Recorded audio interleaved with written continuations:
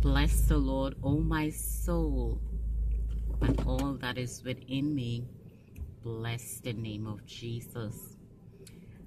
I am so grateful and thankful to my Heavenly Father for this beautiful Sunday, for this blessed Sunday, for this is the day that the Lord has made.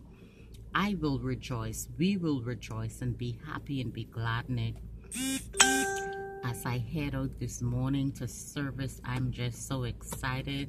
You know, it's nothing like the presence because in the presence there is fullness of joy, fullness of joy. So I just come to you guys today just treat with you. Listen, get your family, get your friends, get everybody. Go and worship the Lord because you know what? He's worthy to be worshiped, praised, and adored. Say, from the rising of the sun until the going down of the same, the Lord name is worthy to be praised.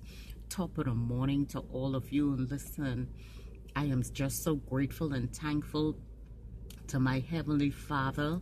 Listen, for family, you know, for, for waking me up this morning, clothing me in my right mind.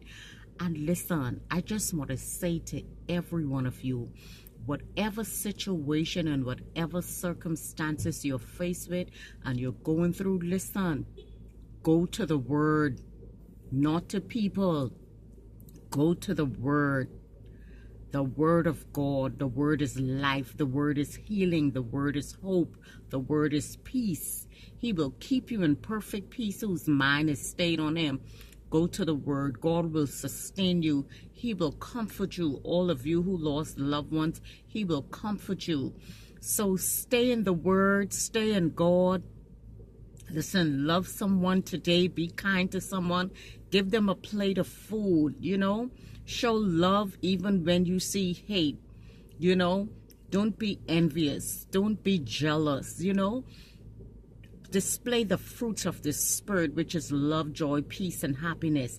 I am so happy just to be in your presence wherever you are today, wherever you are. May God continue to bless you and sustain you. May He continue to keep you and comfort you and give you sustainable life and hope.